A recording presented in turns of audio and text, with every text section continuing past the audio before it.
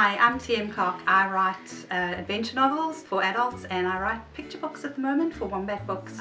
I came to Wombat uh, with a beautiful book called Slowly Slowly and I'm really really happy about it. Um, the artwork is just gorgeous. It's done by Helene Magisson and as you can see it's full of monkeys. So thank you very much and I hope you enjoy my book.